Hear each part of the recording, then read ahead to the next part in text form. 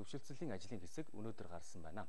За зөвшөлтсөлийн ажлын хэсгийг Монгол улсын ерөнхийлөгч хахлаж, орлогч дараагаар ерөнхий сайд бүрэлдэхүүнд нь улсын хурлын гишүүдийн төлөөлөл ажиллаж байгаа юм.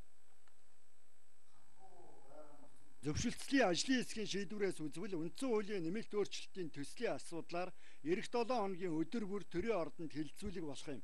Хилцүүлгүүдийг гүйцэтгэх засаглал, парламент, шүүх эрх мэдэл, нутгийн удирдлага, байгалийн баялаг, эдийн засгийн асуудал гэсэн сэдвүүдийн хүрээнд хийхээр ажлын хэсгийнхэн тогтсон байна.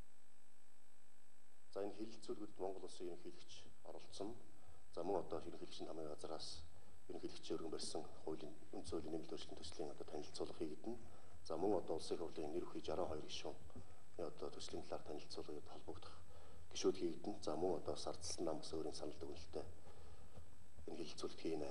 За энэ ажлын хэсэг бол хамгийн гол нь тасралтгүй үргэлжилж байгаа.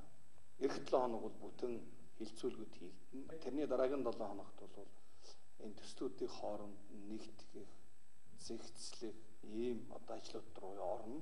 За энэ нэг 7 10 хоног үргэлжлэх болов гэж ингэж бодож байна. Арчсан нам 7 хоног сандаа гаргаад сандаа олон нийтэд нээлттэй мэдээлнэ. Хилцүүлэгт бол нээлттэй хилцүүлнэ хамгийн гол нь энэ хилцүүлэг явагдахдаа нэгдлийг хит баримтлаагүй бүх саналуудыг нэг нэг төвшөнд авч үзэж ингэж ярилцах зайлшгүй шаардлага байх ёстой шүү гэж би бас хэлмээр байна.